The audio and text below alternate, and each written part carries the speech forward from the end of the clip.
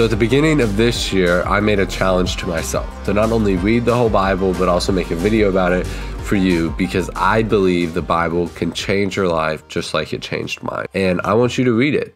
So, if you have gone through that task of reading through the whole Bible, first, congrats. But second, I think that you now realize that it's a very doable thing. I think for many of us, we look at the Bible as, oh man, this thing is massive. It's written over all these time periods. I can never do it. I can never understand it.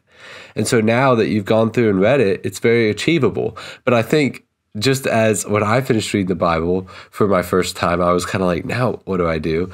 I, I, I, hope to give you some guidance in how to further your relationship with Christ now that you've read the Bible. So this year, I read through the Bible chronologically for the first time, which means in order. Instead of the books going from Genesis to Revelation, just every book, chapter, it, it actually broke it up and did it in order of when the events happened. Like it mixed the gospel accounts together. It mixed, you know, David's life and the Psalms together. And if you haven't read through the Bible chronologically, then I would recommend starting one of those plans. Once you read through the Bible once, it's not like a checklist where, okay, I'm done with that. I think the Bible reading should be a constant thing in our Christian walk. In the first Psalm, it says, Blessed is the man who delights in the law of the Lord and meditates on his word day and night. He is like a tree planted by a stream of water and so for us, I hope that we can delight in the law of the Lord day and night and be meditating on his scripture. And we do that through getting to read it.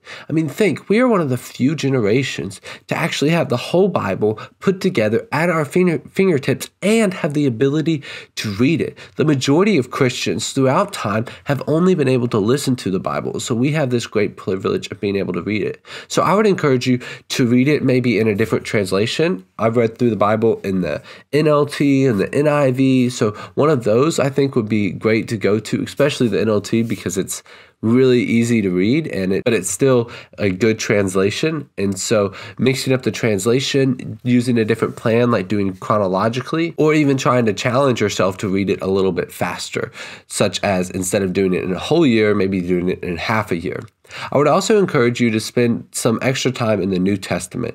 I think I've become legalistic in my own life about reading the whole Bible through equally, but there are some verses in the New Testament that I was reading through on this time that kind of pointed me to the idea that I need to be spending some extra time in the New Testament because that's going to be what's teaching me about my faith. So, in short, after you finish reading the Bible, don't stop keep going. My final thing that I want to talk to you about is memorization of scripture. If you've read through the whole Bible, I would encourage you to kind of pause now in chapters and start memorizing some scripture. I think there's a healthy habit to read the Bible in a year, the Bible in half a year, which is like three to six chapters a day, every day for our whole lives. But then also sometimes when we should slow down and go chapter by chapter, verse by verse, or even spend the time to memorize scripture. So I hope this video has encouraged you to keep going in your walk with the Lord. I know that after I finished reading through the Bible for my first time, I was excited to get back in and to go deeper with scripture. So I hope you have that same excitement as well. Thanks so much for watching this video. It's the final video in my Bible in a year project. And so there's going to be more videos on my channel coming out, but I guess that's a topic for another day.